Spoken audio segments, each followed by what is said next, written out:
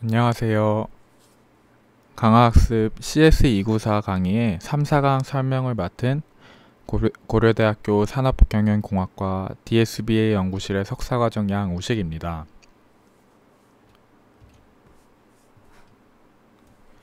지난 1, 2강에서는 강화학습이 어떤 것인지에 대한 아주 기초적인 접근을 시도했다면 이번 3, 4강에서는 강화학습을 알기 위한 기본적인 개념에 대해 집중적으로 다루고 있습니다. 3강에서는 강화학습의 가장 핵심적인 접근인 마코브 결정 과정과 강화학습의 궁극적인 목적, 그리고 강화학습에서 사용되는 알고리즘의 간략한 특징에 대해 다루고 있습니다.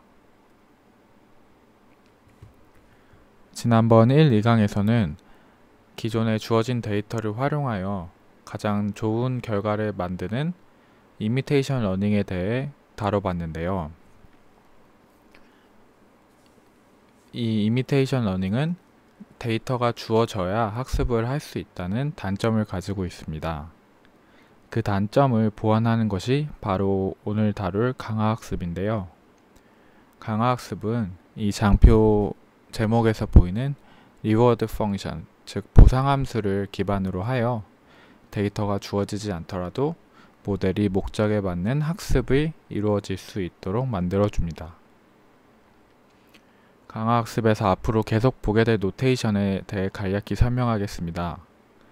먼저 ST는 상태, 즉 state를 의미하며 OT, observation은 상태에서 찾아볼 수 있는, 관찰할 수 있는 관찰 공간을 의미합니다.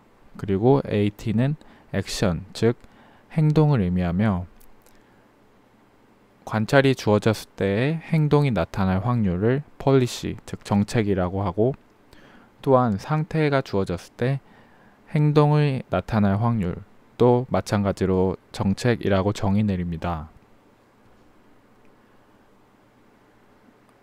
즉 어떠한 상태나 관찰한 관찰한 결과물이 주어졌을 때 특정한 행동을 할 확률 자체를 정책이라고 하는데 여기서 관찰과 상태의 차이점은 모든 것을 관, 관찰했을 때 그것을 상태라고 부른다는 점입니다. 강화학습은 이처럼 주어진 주어진 상태나 환경 상태나 관찰을 기반으로 어떠한 행동을 하고 그 행동이 좋은지 나쁜지에 따라 보상이 나타나며 이러한 보상을 최대화하는 방식으로 모델의 학습이 진행되게 됩니다. 최종적으로 그 모델이 이상 가장 좋은 보상, 보상을 받을 수 있는 이상적인 학습을 할 수 있게 만드는 것입니다. 강화학습의 기본이 되는 마코브 결정 과정을 알기 위해서는 마코브 체인부터 다루고 있습니다. 마코브 체인은 앞서 말한 상태 공간이 주어지며 그 상태가 그 다음 상태로 넘어가기 위해, 위한 transition operator, 즉 변이 연산자가 주어집니다. 여기서 변이 연산자는 한 상태가 그 다음 상태로 넘어가기 위한 리니어한 특징을 가지고 있습니다. 옆에 그림을 보시면 클래스 1에서 클래스 2로 넘어가기 위한 변이 연산자는 0.5가 되며 클래스 2에서 클래스 3로 넘어가는 변이 연산자는 0.8, 0.8임을 알 수 있습니다. 이처럼 한 상태에서 다음 상태로 넘어가는 확률이 변이 연산자가 되며 이러한 확률은 리니어한 특징을 갖게 됩니다. 이러한 마코브 체인이 일반화된 과정이 바로 마코브 결정 과정입니다. 마코브 결정 과정은 마코브 체인의 S와 T에서 확장되어 행동 공간인 A 그리고 보상 함수인 R이 추가됩니다. 또한 마코브 체인에서의 변이 연산자인 T와 T에서 더 확장되어 리니어한 특징을 가지지 않고 3차원 이상의 tensor한, tensor인 특징을 갖게 됩니다. 즉, 마코브 체인이 한 상태에서 다음 상태로 넘어갈 때 단순히 변이 연산자만 필요했다면 마코브 결정 과정에서는 어떠한 행동이 어떠한 상태와 어떠한 행동이 주어졌을 때 주어져야 그 변이 연산자를 통해 그 다음 상태로 넘어감을 알 수 있습니다. 옆에 장표를 보신다면 빨간색 행동을 하기 위한 빨간색 행동을 빨간색 행동이 action space 즉 행동 공간의 하나의 행동들이 되며 그 아래 R은 그 행동을 하게 됨으로써 나타나는 보상 함수가 됩니다. 강화학습은 아래에서 보이는 보상 함수의 누적 합이 최대가 되는 것을 목적으로 합니다. 또한 이처럼 마코브 결정 과정이 좀 더 일반화된 것이 partially observed Markov decision process, 즉 부분 관찰 마코브 결정 과정이라 부릅니다. 흔히들 줄여서 폼DP라고도 많이 불리는데요. 이 부분 관찰 마코브 결정 과정은 마코브 결정 과정의 좀 더 일반화된 버전이라고 생각하시면 될 것 같습니다. 마코브 결정 과정에서 나타났던 S, A, T, R, R은 여전히 존재하며 추가적으로 관찰 상태 공간에서 나타나는 관찰 공간 그리고 상태 공간에서 관찰 공간이 나타날 emission probability를 포함하고 있습니다. 오른쪽에 confusion matrix를 보시면 마커브 모델을 산, 상태를 완전히 관찰 가능한지 그리고 상태 변환, 상태 전이에서 컨, 디터미니스틱한지 아니면 스토캐스틱한지 여부에 따라서 네 가지로 분류함을 알 수 있습니다. 여기서 폼DP는 즉 기존의 마코브 결정 과정이 상태가 주어졌을 때 그 상태가 모든 것을 다 관찰했다는 가정하에 진행된 것이며 폼DP는 MDP와 마코브 결정 과정인 MDP와는 달리 모든 상태를 알고 있다는 가정이 아닌 상태에서 어떠한 관찰 관찰을 했다는 과정을 지나고 그 관찰한 결과를 활용하, 활용하여 다음 상태로 넘어가는 다음 상태로 넘어가는 모델이라고 생각하시면 될 것 같습니다.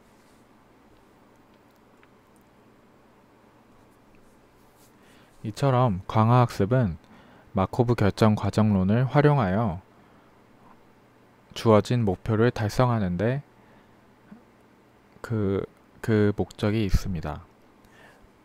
강화학습의 어, 학습 과정을 간략히 설명하면 다음과 같습니다.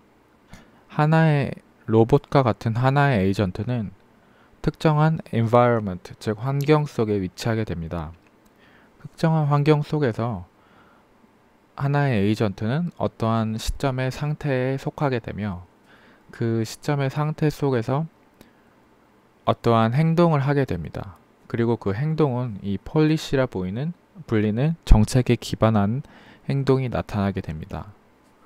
그리고 그 시점에서 나타나는 행동은 다시 환경으로 들어가 환경 속에서 reward function, 즉 보상을 나, 보상을 이끌어냄과 동시에 새로운 t plus 1 그 다음 시점의 상태로 에이전트를 위치시키게 됩니다.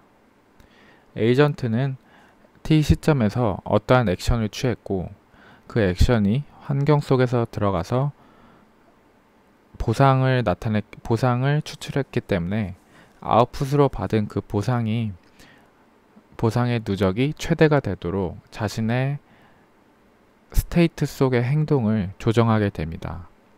이처럼 이러한 학습이 계속해서 반복되며 최종적으로 보상이 극대화되는 쪽으로 행동이 이루어지는 것을 강화학습인, 강화학습이라 부르는 것입니다.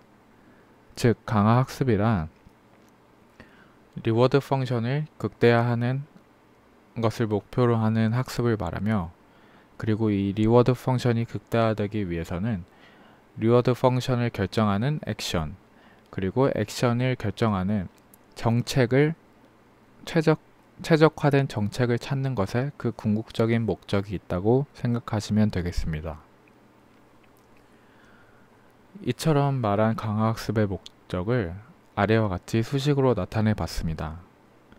왼쪽, 왼쪽 수식을 통해서는 S1과 A1, 즉 첫 번째 시점의 상태와 첫 번째 시점의 행동에서부터 T 시점의 행동과 T 시점의 상태에서 상태를 모두 포, 모두 포함한 정책의 결과를 의미합니다. 즉 모든 시점 하나의 에피소드 내에서 모든 시점에서 일어났던 상태 속의 상태 속에서의 폴리시에 통한 액션이며 이것이 이것은 결국 그 모든 시점에서 액션을 액션으로 인해 갖게 된 보상을 보상의 총합을 의미합니다. 그리고 이것을 저희는 full trajectory distribution, 즉 총, 총 경로에 대한 분포라고 부르, 부릅니다. 각 시점에 대해서 어떠한 행동을 할지는 항상 매번 다르기에 distribution, 즉 분포의 형태로 나타나기 때문입니다. 이 왼쪽 식을 오른쪽과 같이 다시 표현할 수 있는데요.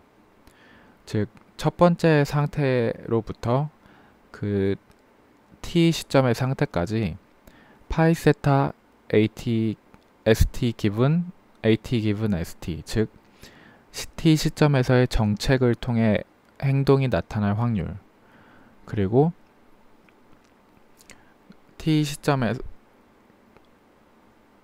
st와 at가 주어졌을 때 그 다음 시점으로 그 다음 상태로 넘어갈 확률 을 모두 product 한 결과물이라고도 해석할 수 있는 것입니다.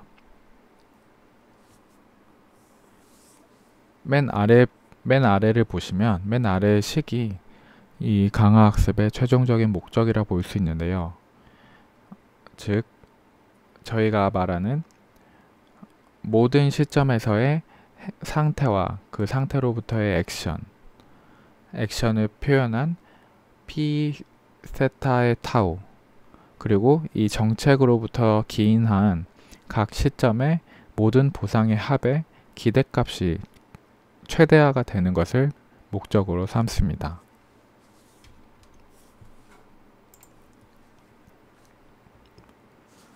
이처럼 강화 강화학습의 목, 식을 살펴보면 사, 강화학습의 식을 살펴본다면 특히 우측변의 식을 살펴본다면 어, 앞서 설명한 마코브 체인의 개념을 같이 떠올릴 수 있습니다. 즉 ST와 AT가 주어졌을 때 다음 시점 t plus 1 시점의 상태에 놓, 놓이고 그 상태에서 놓인 행동을 할, 할 확률은 ST와 AT가 주어졌을 때 그 다음 시점에 상태가 주어지고 그 상태 속에서 어떠한 행동을 할 정책의 확률을 곱한 것과 동일합니다. 이는 결국 앞서 저희가 앞서 언급한 마코브 체인 개념 개념과 연관지어 설명할 수 있는데요. 쉽게 설명하자면 한 시점의 상태와 한 시점의 행동이 그 다음 시점의 상태와 행동에 영향을 준다는 의미입니다.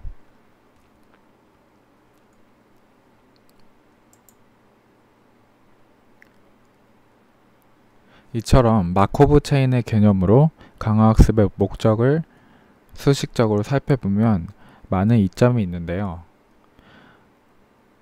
그러기 위해서는 강화학습의 학습에 대한 시점, 학습 시점에 대한 두 가지 접근이 필요합니다. 첫 번째 접근은 강화학습의 학습이 유한한 시간 내에서 이뤄진다는 접근입니다. 즉, 학습이 첫 번째 시점부터 t, t번째 시점, 유한한 시점 내에 이루어지며 하나의 에피소드를 그것을 하나의 에피소드라고 부르, 부르기도 합니다. 앞서 저희는 강학습의 목적이 매 시점마다 나타나는 보상의 누적 값이 극대화가 되는 것이라고 설명한 바 있습니다. 이를 아래와 같은 식으로 표현할 수 있는데요. 이는 강화학습의 보상의 누적 합인 이 summation이 summation을 앞으로 빼올 수 있다는 특징을 활용한 것입니다. 이러한 특징은 이 summation이 linear하다는 특징에서 기인합니다. 이럴 경우 저희는 강화학습의 목적 함수를 앞과는 달리 새롭게 접근할 수 있는데요. 앞에, 앞에서는 모든 보상의 각 시점의 총합의 기대값이었다면 새롭게 정의한 강화학습의 목적 함수는 각 시점의 보상의 기대값의 총합시, 총합시라고 볼 수 있습니다. 즉, 이 t라는 그 정, t 시점의 정책이 스테이트와 액션의 주변, 마지널한 특징을 갖고 있다고 새롭게 정의 내릴 수 있는 것입니다. 여기서 마지널하다는 것은 주변부 분포를 말함, 말하면서 주변부 분포를 의미합니다. 즉 앞서 t에선 앞서 t는 강 앞서 t에서는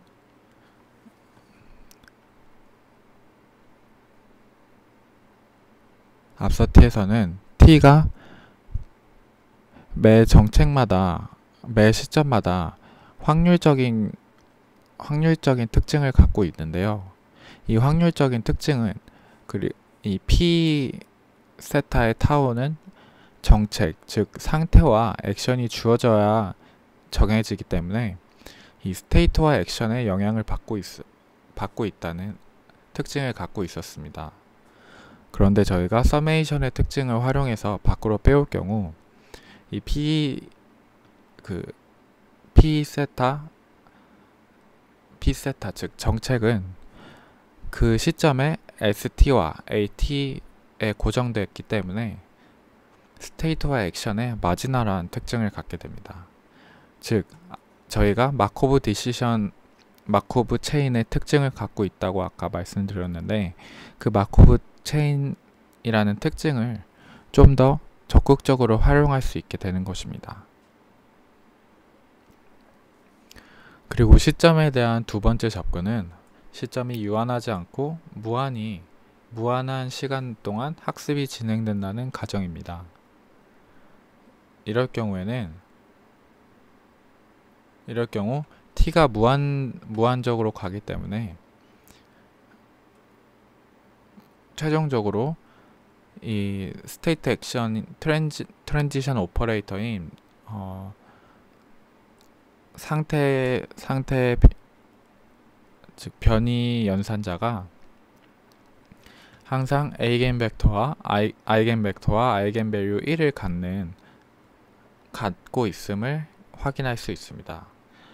이 eigen 벡터와 eigen value를 갖고 있다는 점은 이 t가 어, stationary distribution한 특징을 갖고 있다고도 볼 수, 볼 수 있습니다. 즉, 이 무한히 계속해서 무한하게 학습이 진행된다면 어느 한 점으로 수렴하게 된다는 건데요. 여기서 stationary distribution이란 이 뮤, 뮤라는 정책이 하나의 행동만을 나타내는 것이 아니라 하나의 행동을 계속해서 한다는 것이 아닌 모든 행동을 할 확률이 동일해진다는 것을 의미합니다. 저희가 점심에 예를 들어 저희가 점심 메뉴로 치킨과 피자 그리고 김밥을 어떤 걸 먹을지 뭐 어, 어떤 걸 먹을지 확실하지 않습니다. 매번 김밥과 피자, 치킨을 먹을 확률은 매번 다릅니다. 다만 무한히 많은 시간이 지난다면 김밥과 피자, 치킨을 먹을 확률은 서로 굉장히 동일해진 동일해 동일하게 변합니다. 무한히 많이 진행된 경우 단지 피자를 치킨보다 다섯 번 더 많이 먹었다고 그 세 가지의 확, 세 개의 확률이 크게 차이가 나지 않게 됩니다. 이처럼 하나의 상태와 그 다음 하나의 상태를 transition operator를 product 했음에도 불구하고 똑같은 상태로 유지하는 이 현상을 stationary distribution이라 설명하며 칭하며 시점이 무한하다는 가정하에 강화학습 목적 함수는 이처럼 stationary distribution의 특징을 갖게 됩니다. 이렇게 stationary distribution의 특징을 갖게 됨을 확인하는 것의 가장 큰 강, 장점은 강화학습의 목적 함수를 다시 또 편하게 변화, 변화시킬 수 있다는 것인데요. 예를 들어 t가 t가 무한히 진행될 경우 저희가 앞서 정의한 매, 시, 매 시점에 보상 함수의 기대값의 총 합이 무한히 늘어나게 됩니다. 이를 방지하기 위해서 t분의 1로 곱해준다 하더라도 t분의 1로 곱해주면 결론적으로 저희는 이 저희가 얻고자 하는 강화학습의 목적 목적 함수가 하나의 시점에서 보상 함수의 기대값과 동일함을 알게 알 동일함을 알 수 있습니다. 이처럼 t가 유한하, t가 무한하게 진행될 경우 stationary distribution의 특징을 활용하여 강화학습의 목적 함수를 더 편리하고 새롭게 정의할 수 있게 이 시점과 관련하여 두 가지 접근법을 가져왔고 그 접근법에 알맞는 적합한 새로 더 발전된 목적 함수를 정의 내렸습니다.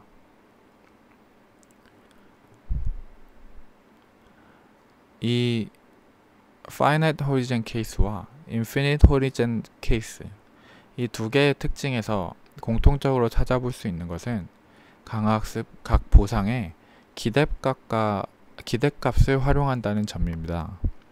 강화학습에서는 기대값을 많이 활용하는데요. 기대값을 활용한다면 다양한 강점을 가지게 됩니다.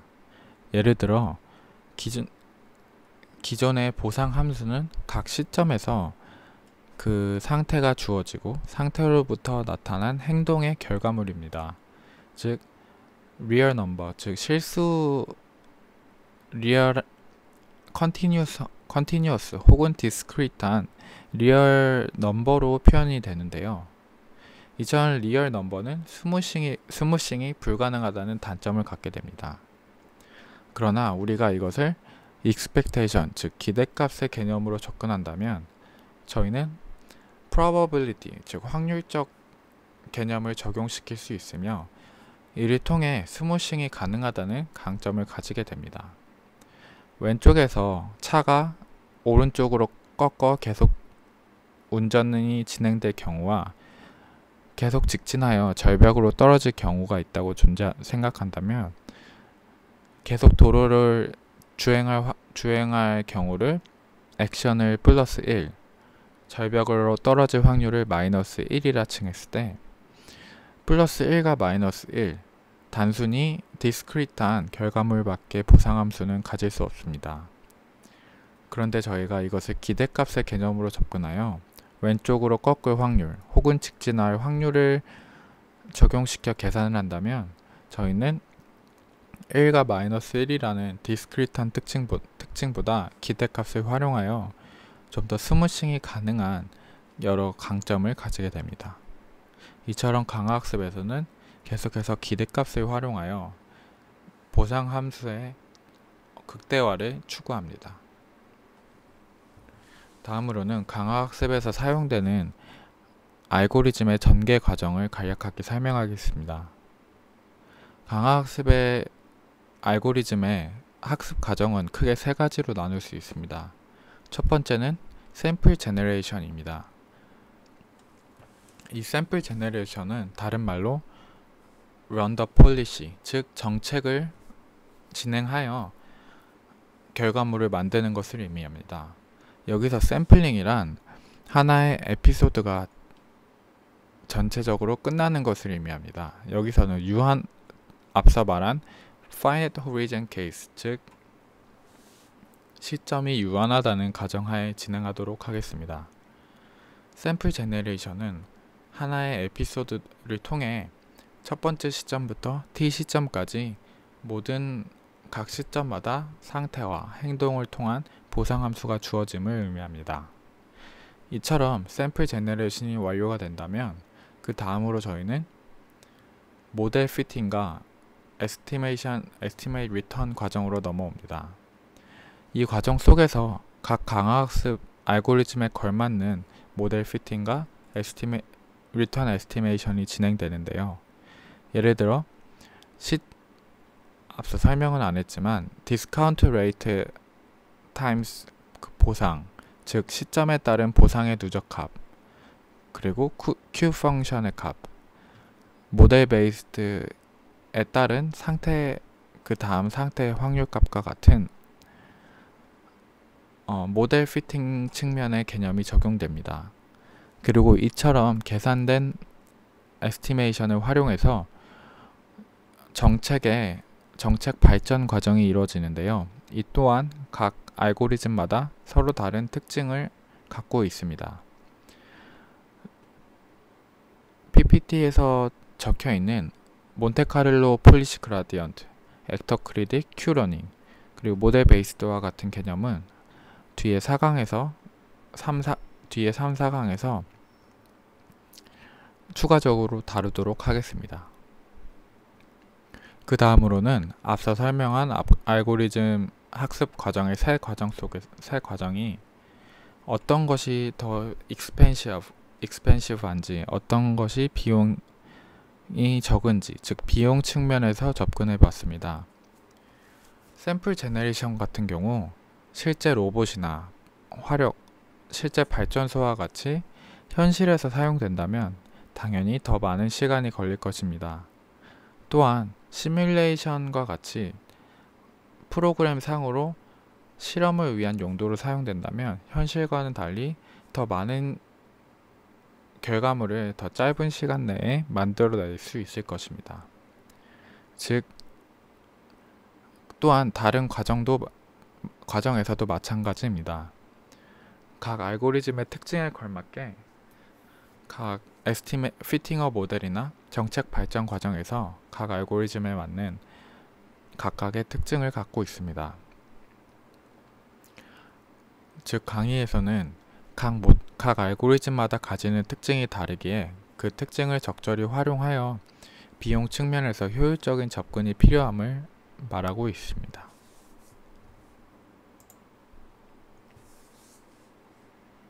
저희가 알고 있는 신경망 모델을 사용해서 강의에서는 강화학습의 알고리즘 학습 과정을 간략히 설명합니다. t 시점에서 t 플러스 2 시점까지 시점까지를 하나의 에피소드로 설명한다면 t 시점부터 t 플러스 2 시점까지의 활동이 진행되는 것을 sample generation이라고 설명합니다. 즉 여기서는 collect data collection과 동일한 의미임을 알 수 있습니다. 그리고 이 data collection이 진행되면서 data collection이 진행된 후에 AT에서 ST로 넘어가고 ST 플러스 1 그리고 ST 플러스 1 상태에서 어떠한 행동을 할 AT 플러스 1로 넘어가는 일련의 과정 전진 과정법을 모델 피팅 for 그리고 estimate return 과정과 동일시합니다. 그리고 마지막으로 이 forward pass가 진행된 후에 신경망 모델에서 진행되는 backpropagation이 강화학습에서는 정책 발전 과정이 됩니다. 신경망 모델처럼 강화학습에서도 gradient 기반으로 gradient step이 진행되기도 합니다. 다만 강의에서는 이러한 신경망적 접근이 디터미니스틱한 접, 특징밖에 다루지 못하며 강학습을 좋은 학습을 위해서는 충분히 좋은 설명, 설명 예시가 아님을 언급하고 있습니다.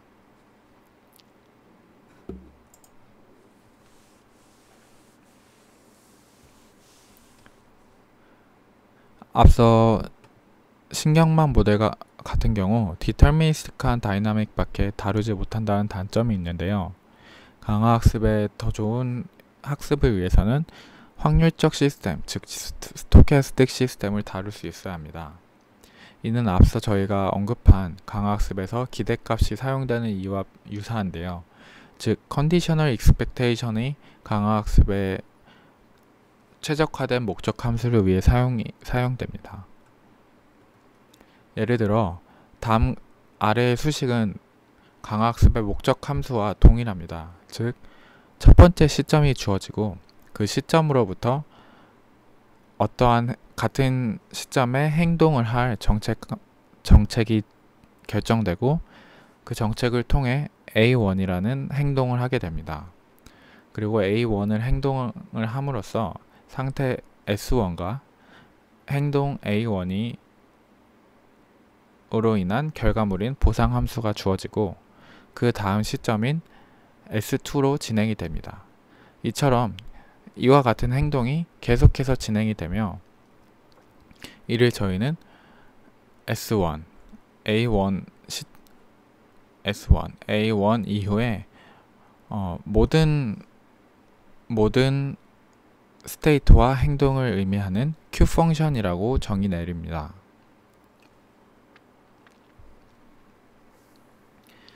이, 이 위와 같은 식을 간략히 표현한 것이 아래와 같은데요. 이렇게 conditional expectation한 접근을 한다면 좋은 점이 컨디셔널 익스펙테이션한 한 접근을 한다면 상당히 많은 장점을 갖게 됩니다. 예를 들어 저희가 S, QS1과 A1이 A1을 알고 있다면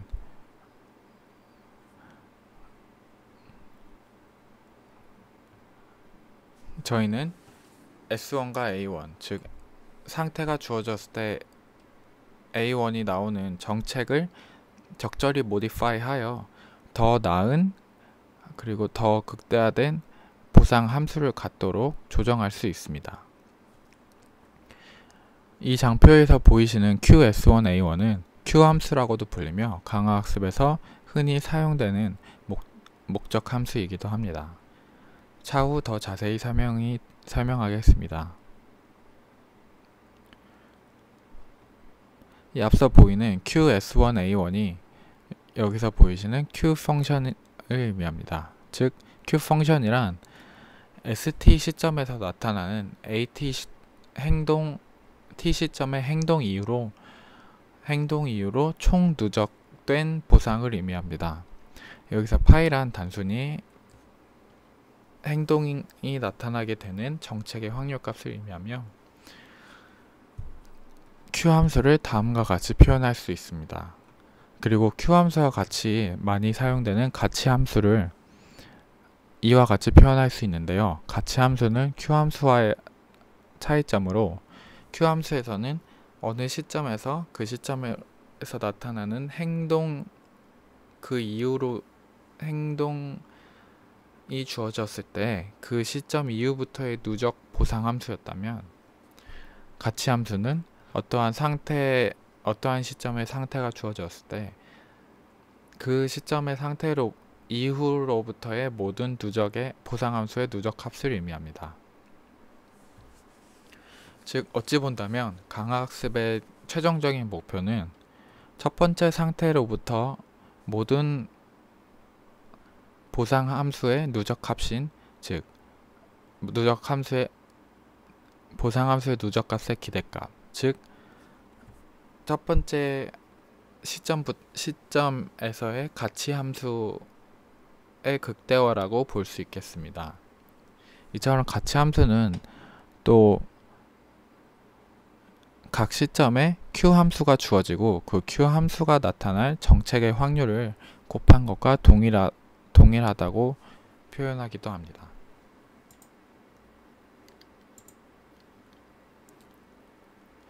Q 함수와 가치 함수를 사용한다면 강화학습 학습에 있어서 좋은 아이디어를 적용시킬 수 있습니다. 예를 들어 첫 번째로 앞서 말했듯이 저희가 어느 특정한 시점에 q 함수를 알고 있다면 저희는 그, 그 시점의 정책의, 정책을 좀 더 최적화시킬 수 있습니다. 예를 들어 어떠한 시점에서 한 행동 어떠한 t 시점에서 진행된 행동으로 인해 행동이 가장 큰 Q 함수를 갖고, 갖고 있음을 알고 있다면 저희는 앞으로 그 시점에서 같은 행동이 항상 나오도록 정책의 정책을 뭐, 어, 변경시킬 수 있습니다. 이러한 접근법을 이러한 접근법은 단순히 정책을 확률 분포로 간주하는 것보다 최소한 나쁘지 않으며 심지어 좋다고 합니다. 그리고 두 번째 아이디어로는 Q 함수가 같은 시점에 가치 함수보다 좋다면 이 Q 함수는 Q 함수에서 나타난 행동은 평범한 평범한 행동보다 좀 더 좋음을 알 수 있습니다. 이는 가치 함수가 가치 함수가 그 시점의 Q 함수 곱하기 정책으로 인한 행동 확률을 곱한 기대값이기 때문인데요. 이 점을 활용하여 어, 만일 같은 시점에 Q 함수가 가치 함수보다 높다면 그 행동이 나타나, 나타날 정책의 확률을 좀 더 높이는 방식으로 학습이 진행되도록 조정할 수 있습니다.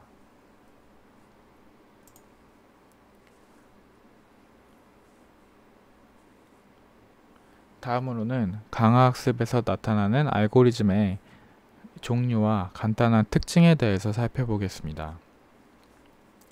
강화학습의 알고리즘은 크게 네 가지 종류로 나눌 수 있습니다. 먼저 policy gradient 즉 정책 기반 알고리즘 그리고 value based 즉 가치 기반 알고리즘 actor critic 그리고 모델 기반 알고리즘으로 나눌 수 있습니다. 정책 기반 알고리즘에서는 미분을 활용하여 목적 함수를 극대화하며 가치 기반에서는 가치 함수와 Q평, Q 함수를 활용하여 최적의 정책을 찾는 데 목적을 갖고 있습니다. 그리고 액터 크리딕은 앞서 말한 정책 기반과 가치 함수를 모두 사용하여 최적의 정책을 찾아내며 model based 강화학습은 model base 강화 학습은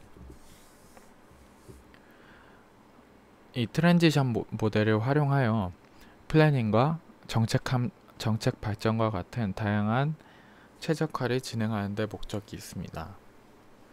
첫 번째로 model based 알고리즘 같은 경우 모델을 활용하여 trajectory optimization, 즉 경로 최적화 또한 discrete planning in discrete action space와 같은 최적화를 진행하던가 진행하던가 아니면 단순히 backpropagate 앞서 예시에서 설명했던 바와 같이 backpropagation을 사용하여 정책의 발전을 사용하는 등 모델 기반으로 강학습을 접근하는 방식을 말합니다.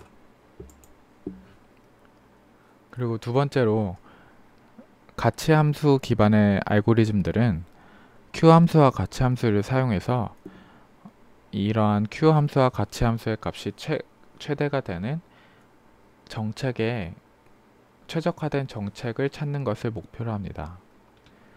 다만 가치 함수와 가치 함수 기반의 알고리즘과 정책 기반 알고리즘의 차이점은 같은 입력이 들어가고 같은 신경망이 활용되더라도 출력에서 차이가 있다는 점입니다. 즉 Q함수와 가치함수는 가치 기반 알고리즘은 Q함수의 값, 가치함수의 값이 출력이 되어 이러한 값을 극대화하는 방식으로 정책이 발전된다면 정책 기반 알고리즘에서는 각 행동을 할 확률, 즉 정책 자체가 출력으로 나타나여 이러한 정책 이 좀 더 극대화되도록 그라디언트 기반으로 점차적으로 정책 발전이 진행됨을 아실 수 있습니다. 또한 actor critic 같은 경우 model estimation, model fitting과 return estimation 같은 경우에는 가치 함수를 기반으로 진행되지만 정책 발전은 또한 앞서 정책 기반 알고리즘과 같이 정책 자체를 업데이트하는 방식으로 학습이 진행되는 방식을 말합니다.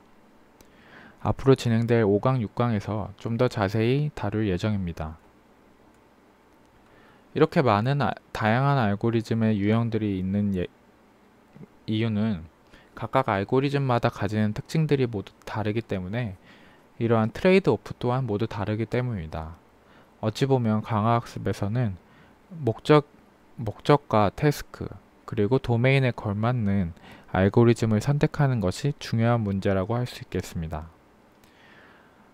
다양한 특징, 다양한 특징은 크게 어, 다양한 특징은 크게 efficiency, 즉 효율성의 측면, 스테빌리티와 안정성과 사용의 편리성, 그리고 가정의, 가정의 차이, 또한 세팅의 차이로 그 차이점을 알 수 있겠습니다. 우선 샘플 에피션시, 즉 샘플링 효율적인 측면에서 강화학습 알고리즘들의 차이점을 살펴보겠습니다. 여기서 샘플 에피션시란 좋은 정책을 얻기 위해 얼마나 많은 샘플이 필요하냐를 의미합니다.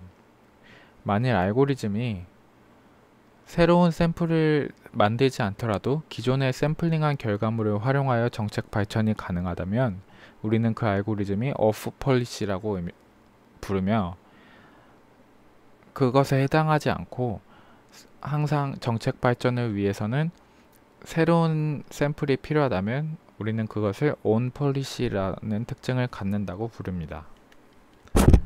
당연히 policy 인 알고, 특징을 가진 알고리즘이 sample efficiency 면에서 좀 더 효율성이 높음을 알 수 있습니다. actor critic 알고리즘을 기준으로 왼쪽으로 갈수록 더 off policy한 특징을 갖고 오른쪽으로 갈수록 on policy한 특징을 갖습니다. 다만 강화학습에서 이처럼 낮은 efficiency가 더 나쁜 알고리즘이라고 단정 지을 수는 없습니다. 매번 sample generation이 필요하지만 학습에 걸리는 시간은 또한 또 그 알고리즘마다 모두 각각 다르기 때문입니다. 어찌 보면 매 샘플링을 매번 하더라도 학습에 걸리는 시간이 더 짧다면 학습, 강화학습 전체에서 걸리는 시간이 더 짧, 짧은 경우가 있다고도 생각할 수 있습니다. 또한 stability의 측면에서 알고리즘마다 각자 차이가 있습니다. 여기서 stability, 즉 안정성이란 강화학습 알고리즘이 안정적으로 수렴을 하는지에 대한 여부입니다.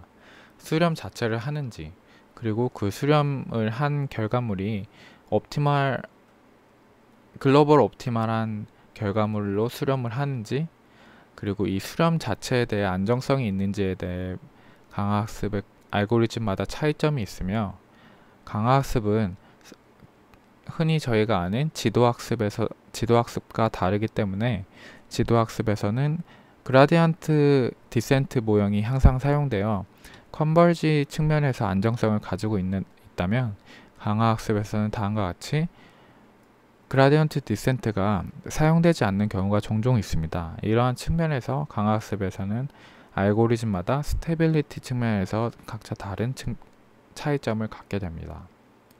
또한 easy of use, 즉 사용의 편리성 측면에서 가치 함수는 error of fit을 최소화한다는 어, 좋은 상황에서의 장점을 갖고 있지만 어, 최악의 상황에서는 그 어떠한 것도 최적하지, 최적하지 않는다는 단점을 갖기도 합니다. model based에서도 마찬가지로 어, 좋은 경우에는 이러한 모델이 error of fit을 최소화하지만 저희가 구한 결과값이 항상 좋은 모델이라는 최, 최고의 모델이라는 확신을 확신은 어디서도 할 수 없습니다. policy gradient 기반에서 즉 정책 기반 알고리즘 같은 경우 그라디언트 디센트 방식을 사용하지만 위에서 적힌 바와 같이 효율적인 측면에서 그다지 좋다고 볼 수 없습니다.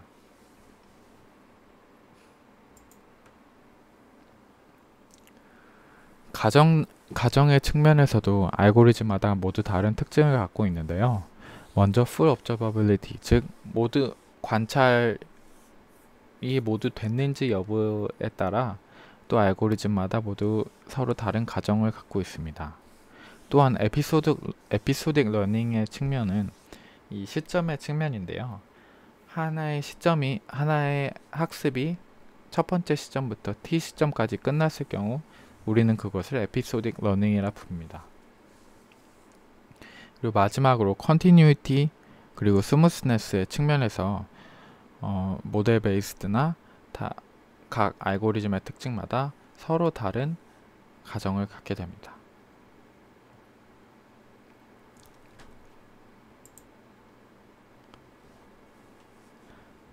이렇게 크게 네 가지 가치, 가치 함수 기반, 정책 발전 기반, 그리고 actor critic, model based 같은 각 알고리즘의 각 알고리즘을 구체적인 구체적으로 들어간다면 Q러닝, DQN, Temporal Difference Learning, Reinforce, 어, Asynchronous Advantage Actor Critic과 같이 세부적인 알고리즘이 나타납니다. 어, 앞서 각 알고리즘이 상당히 많은 알고리즘이 나타난 배경과 각 알고리즘마다 가지고 있는 특징 그리고 특징이 다양화된 특징이 나타나는 이유는 모두 각, 각, 각 알고리즘마다 고유한 특징을 갖고 있기 때문이라고 설명해 드린 바 있습니다. 이처럼 어, 강화학습을 위해서는 도메인에 걸맞는 각 알고리즘에 적합한 선택이 중요함을 강의에서는 말하고 있습니다. 이로써 3강의 발표를 끝내고 다음, 다음 동영상에서 4강의 발표로 마저 진행하도록 하겠습니다. 감사합니다.